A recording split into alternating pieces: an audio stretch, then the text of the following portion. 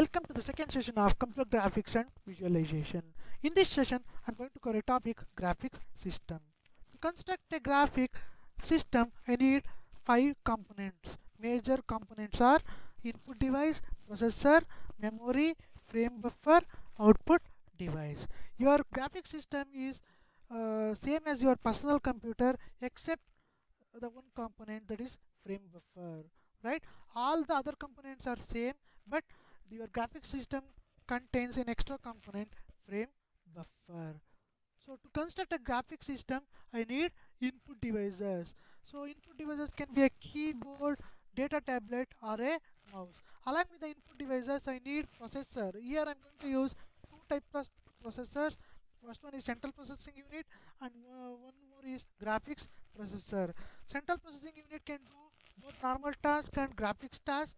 Graphics processor is a special type of processor tailored to do some graphics specific tasks. And one more important thing both cpu and graphics processor will have their own memory. And i need frame buffer. The frame buffer is going to store the data in the form of pixels. That data that is in the pixel is going to be displayed in the output device. So these are the components I need to construct a graphics system. Now I'm going to explain the process in brief. Later I'm going to explain the components in detail. First I'm going to write the application or program using any one of the input device. Then those program is passed into the processor that is CPU. CPU is going to do some computations in its own memory that is CPU memory then then then the computation results are passed to the graphics processor. Graphics processor is going to do some graphics related tasks. Don't worry much about the task. I'm going to explain it later in detail. Next the data that is present in the graphics processor is going to be passed into the frame buffer. And uh, data that uh, in a frame buffer will be in the form of pixels.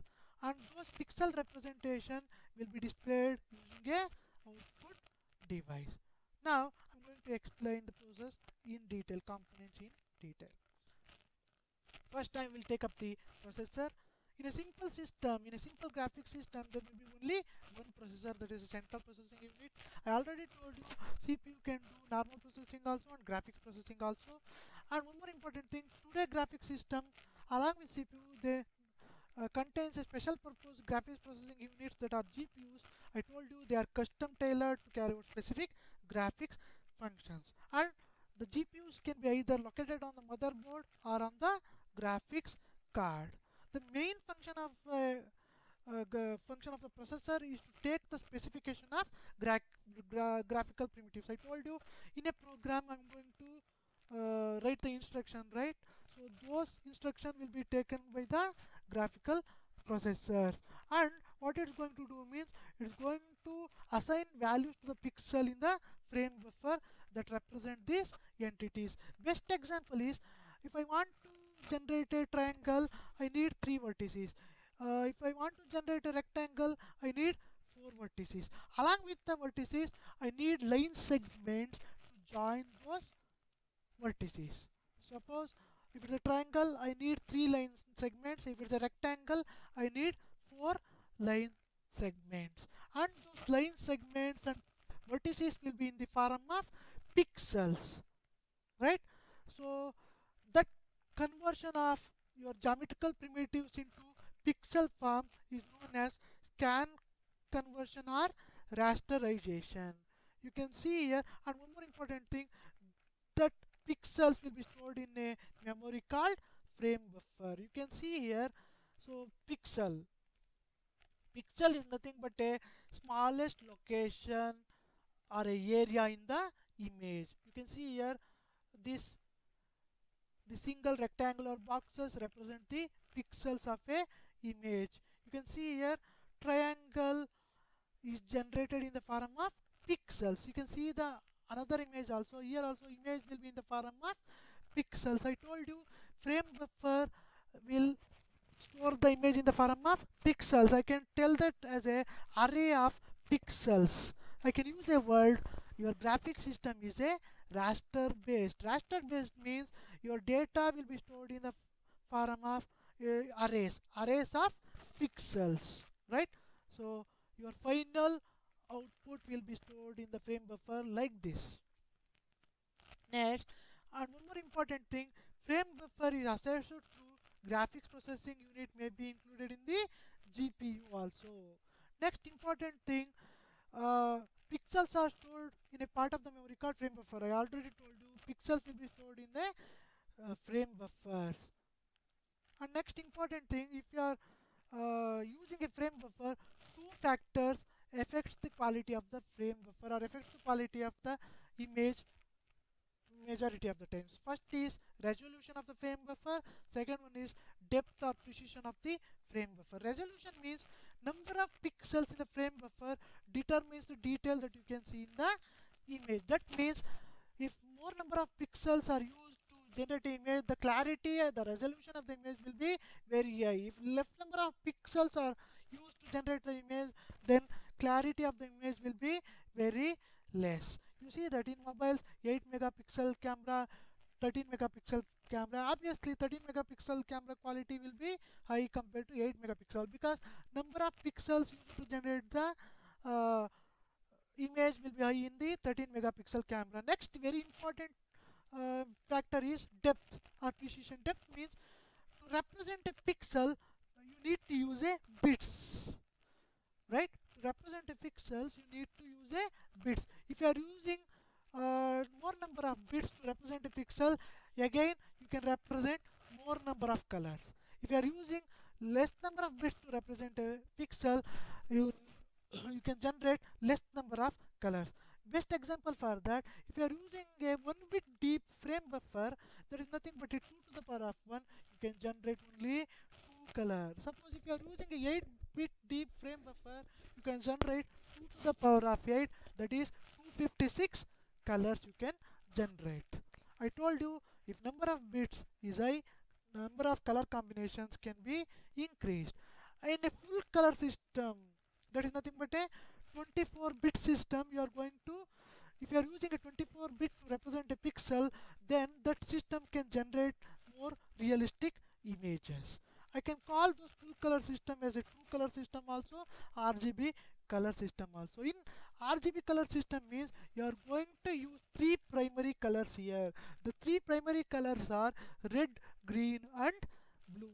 By using the combination of three color you can generate any color you want. You can see the example here. Red value is 242 green value is 55 blue is 14 it's going to generate one color right? If you want to change the color you can change these values. If you change these values of red green and blue it's going to generate different different colors right? Understood? So you can generate any color by using the combination of these three colors red green and blue. Next is one more important thing the frame buffer is always implemented as a special type of memory chips because frame buffer should be very fast. The content should be moved very fast. That's why your frame buffer is implemented as special types of memory chips. And one more important thing frame buffer can hold extra information also. In simple system frame buffer holds only colored pixels that displayed on the screen. But in a complex system uh, your frame buffer can uh, contain additional information such as depth information also. Along with that it can uh, contains the information of the buffers color buffers. Because I told you in RGB system I'm going to use three types of color buffers red buffer green buffer and blue buffer. So your frame buffer can contain those informations also. So so far we discussed about the processor and frame buffer. Now we are going to discuss the output devices what you are going to use in a graphics system. You can use uh, flat panel displays, CRTs, right? So plasma displays, LCDs, LEDs, those types of display, displays I can use in a graphics system. So first I will start up with the CRT, then I'm going to explain all the other types of output devices. So CRT is nothing but a cathode ray but in early days they were using cathode ray as the one of the output device you can see the diagram here So what are the components I need here is elect electron gun, two deflection plates and a phosphor coating. Now I'm going to explain the working of a cathode ray tube.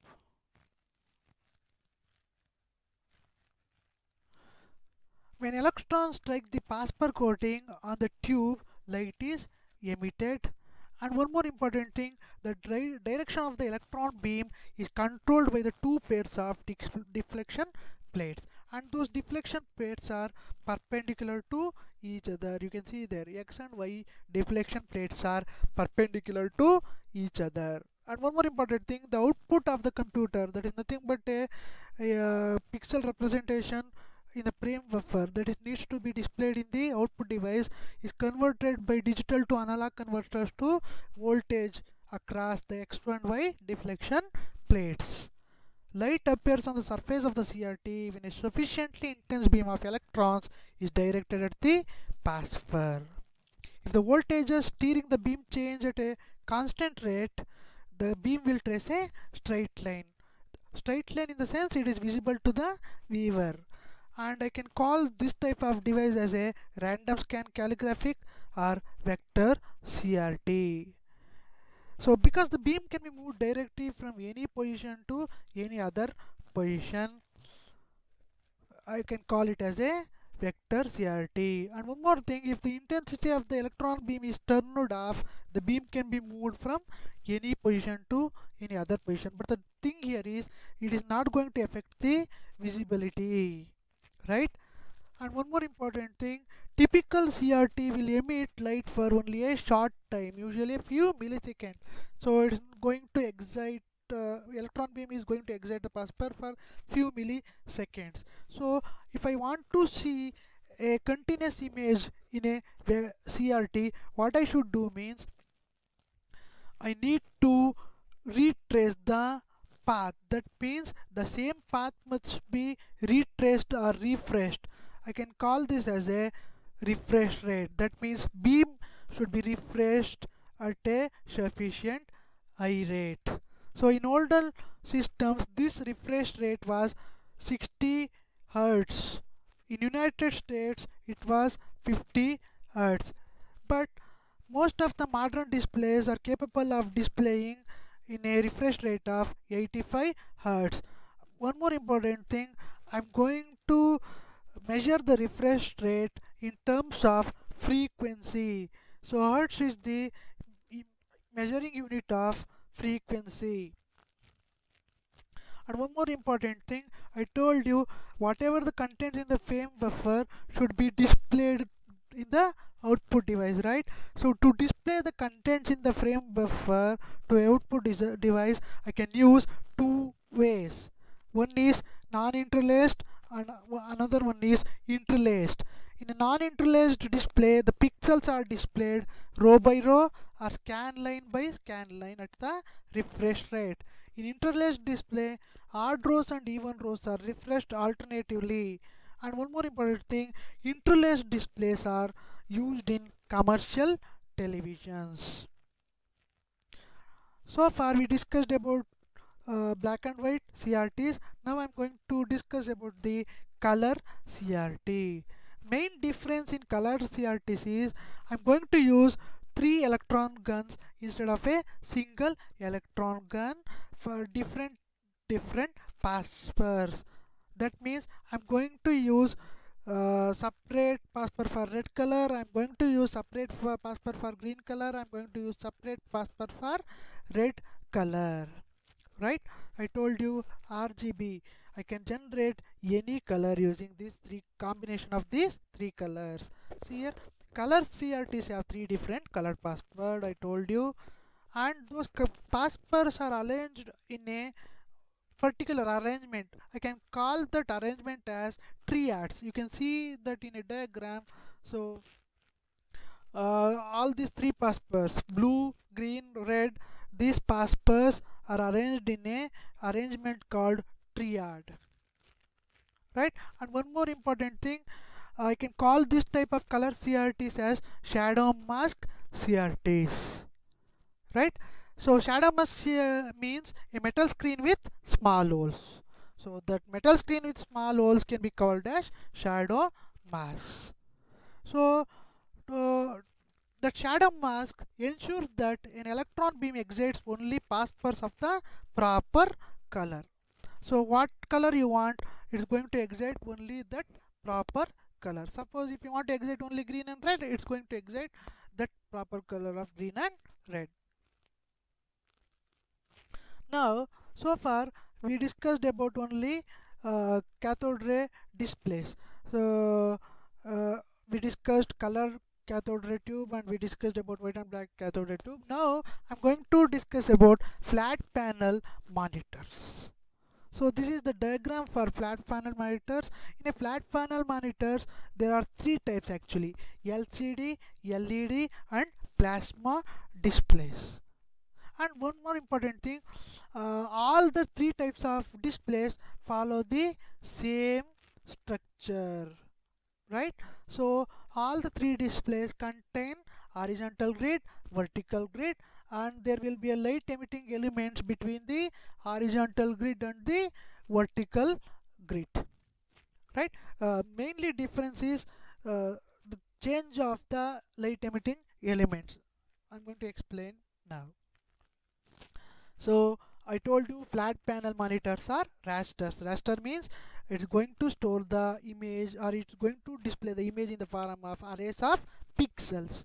So I told you all the flat panel displays is, go is going to use a two-dimensional grid, right?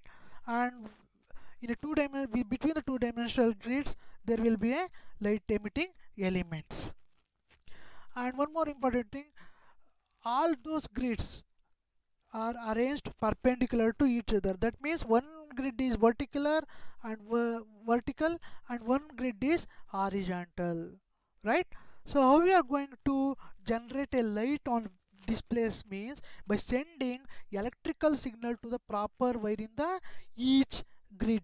Because whenever you arrange vertical and horizontal uh, arrange wires in horizontal and vertical arrangement is going to generate one point of intersection right? You are going to select that intersection of two wires by passing the electrical signal and you can make the intersection point you can make the intersection point as strong enough to control the corresponding element in the middle plate right? So simple so your wires, electrical wires will be arranged in a uh, horizontal and vertical manner. So you, if you want to uh, uh, control the corresponding middle element, you need to pass the electric field to a intersection point. And one more important thing, I told you if it's a LED display, the light emitting elements will be uh, light emitting diodes only right? So these light emitting diodes can be turned on or off by the electrical signals into the grid. I told you you can send you can send signal to the particular wires uh, horizontal wires also and vertical wire also. Next if it's an lcd display instead of light emitting diodes it's going to use liquid crystals. So polarization of liquid crystals in the middle panel is going to turn on and off the light passing through the panel. Suppose if it is a plasma panel, it uses the voltages on the grids to ener energize the gases that is embedded between the glass panels holding the grids. Then the energized gas becomes glowing plasma. Next, so far we discussed about the processor, uh, output devices, frame buffers, etc. And memory also we discussed right? Cpu is contain cpu contains its own memory uh, graphics processor contains its own memory also. Now the last part is input device. Most graphic systems provide a keyboard and at least one other input device. That other input device can be a mouse data tablet or a light pen joystick like that right?